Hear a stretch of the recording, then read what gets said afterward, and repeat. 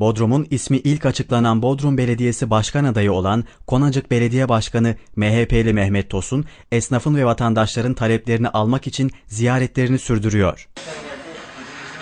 Bodrum sanayisini ziyarette bulunan Başkan Mehmet Tosun, atölye ve iş yerlerine tek tek uğrayarak esnafla sohbet etti. Sanayiye iş yaptırmaya gelen vatandaşlarla da sohbet eden Başkan Mehmet Tosun, görüş ve talepleri dikkatle dinledi. Birçok esnaf, Konacık Küçük Sanayi sitesini işaret ederek biz de böyle bir sanayi istiyoruz talebinde bulundu. MHP Bodrum Belediye Başkan Adayı ve Konacık Belediye Başkanı Mehmet Tosun, Belediye Meclis Üyesi Niyazi Üzer, Konacık Küçük Sanayi Sitesi Kooperatif Başkanı Mehmet Şahin'le birlikte Bodrum sanayisini ziyaret etti. Atölye ve iş yerlerini tek tek dolaşan Başkan Mehmet Tosun, esnafın taleplerini dinledi, kısaca projelerinden bahsetti. Bodrum sanayisinin Bodrum'a yakışmadığını vurgulayan Başkan Mehmet Tosun, sanayinin esnaf içinde yetersiz olduğunu belirtti. Bize burası dar geliyor diyen esnafa, Konacık Küçük Sanayi sitesini örnek olarak gösteren Başkan Mehmet Tosun, seçildiğimiz gün sanayiden işe başlayacağız. Konacık'ta olduğu gibi ne gerekiyorsa esnafımızla birlikte yapacağız. Alternatifli projelerimiz var dedi. Sanayi esnafının yaptığı işlerle de yakından ilgilenen Başkan Tosun, bir atölye lehim tezgahına geçerek teneke lehimledi. Ustasından işin inceliklerini öğrenen Başkan Mehmet Tosun, Konacık'ta yaptıkları çalışmaları örnek göstererek Bodrum Belediye Başkanı seçildiği takdirde yapacağı çalışmaları şöyle anlattı. Kesinlikle Konacık'ta ne yaptıysak burada da benzer bir düşüncemiz olacak. Esnafı mağdur etmeden inşallah daha böyle imkanları geniş, altyapısı, üst yapısı tamamlanmış bir sanayi sitesi bizim en büyük hedefimiz bu. Yani buna bize yakışır. Şehrin içerisinde kalmış. Şimdi arkadaşlarımız hep söylüyorlar, bak otopark oldu burası.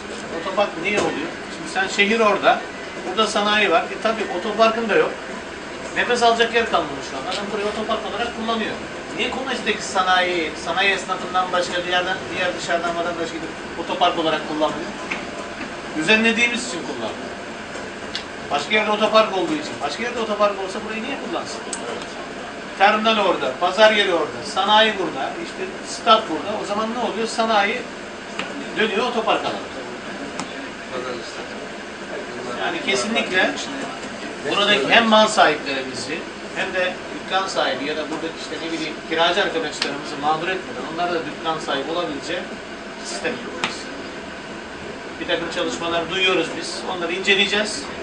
Eğer orası çözüm oluyorsa onu destekleyeceğiz. Konuştuğunu yaptık. Bak işte bizim Menengeç'te Mehmet Başkan'ın kurmuş olduğu sanayi vardı birlikte. Biz seçimde dedik kardeşim bunu destekleyip bitireceğiz. Ne oldu? Sene geldi işte 2006-2007 ruhsatını verdik. 2009'a doğru taşındı. Dedik ki 4 ay sonra, 5 ay sonra arkadaş herkes taşınıyor. Artık ana yol kenarındaki dükkanları kaldıracağız dedik. Bu düzene girdik. Yani şu anda e, sanayideki işletme sahiplerimiz açısından da iyi sonuçlar alıyoruz hep. Dışarıdan oraya yerleşmek isteyen için de iyi sonuçlar alıyoruz. Çünkü gelip dükkan aramıyor artık, yeri belli. Sanayiden arıyor. Hani biliyor ki belediye artık bu işi burada düzenlemiş. Ne altyapı problemi var, ne yağmur suyu problemi var, ne yol problemi var. Bir yerde işte su baskını yaşamışlar. Şimdi oraya altyapı yapıyoruz mesela. Bu hafta çözeceğiz. Bu hafta çözülüyor. İki gün. E, otopark sorunu vardı. Güneye doğru genişletiyoruz mesela. E ne oldu? Özel sanayiler de şimdi hani baktık onlar da yapılmaya başlandı. İşte akım beton kendi arazisinde sanayi. Öbürü kendi arazisinde. Burası hakikaten bir küçük sanayi alanı oldu şu an. Biteze, Konacı'ya, Bodrum'un bir kısmına, Orta Kent'e hizmet verildi durumda. Buradan hareketleyelim duyurusuyla da orası. Buradan hareketli. Niye hareketli? Buraya geldiğinde adam Düzenli. park edecek yer bulamıyor ki. Giriyorsun dışarıdan güvenlik kulübesi var. Adam senin diyor kim arıyorsun kardeşim? Tenekeci Ahmet'i. Dükkanı şu blokta diyor.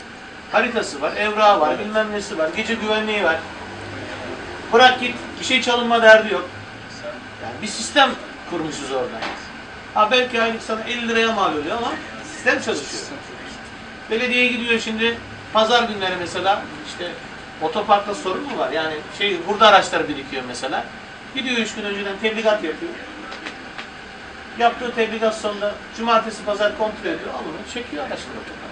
Sanayiye motosikletlerini bakıma getiren Bodrum Trooper Club üyeleriyle de kısa bir sohbet yapan Başkan Mehmet Tosun, bir ara motosikletlerden birine oturarak yani uçak bile kullandım ama motosiklete bir türlü cesaret edemedim dedi.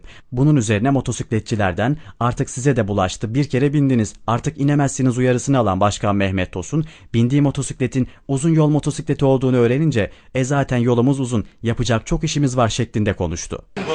Ama Türkiye'nin her tarafını dolaşıyoruz, Bodrum temsil ediyoruz. Özelliğimiz o. Kaç üyemiz var?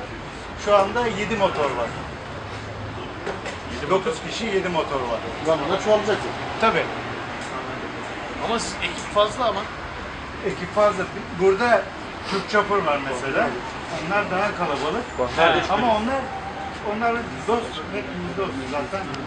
Ee, Ziyarette esnafın yakın ilgisiyle karşılaşan Bodrum Belediye Başkan adayı ve Konacık Belediye Başkanı Mehmet Tosun, her girdiği atölye ve iş yerinden çalışma alanlarının küçüklüğü, sanayiye duvarlardan sızan sular, her yerin otopark olarak kullanılması ve esnafa sahip çıkılmaması gibi konulardan şikayet aldı. Başkan Mehmet Tosun'a destek vereceğini söyleyen esnaf, seçilmesi halinde Konacık Küçük Sanayi Sitesi gibi bir sanayi talebinde bulundu. Esnafa Konacık'ta kurulan sanayi bölgesinin hikayesini aktaran Başkan Mehmet Tosun, ikna olmuyorsan bana da oy verme. Önce esnafımızın bu işin olacağına inanması ve bu yönde çalışması, yapılanları desteklemesi lazım diye konuştu. Yağmur suyu hem yağmur suyu geliyor hem karalı suyu geliyor. Geçer mi? Mağazadan geçmez. Bir patlayacak, bir zarar verecek. Gördüğü ilgi sebebiyle atölye ve iş yerlerinin tamamını gezme imkanı bulamayan Başkan Mehmet Tosun, Bodrum sanayisine ikinci bir ziyaret daha gerçekleştireceğini söyledi.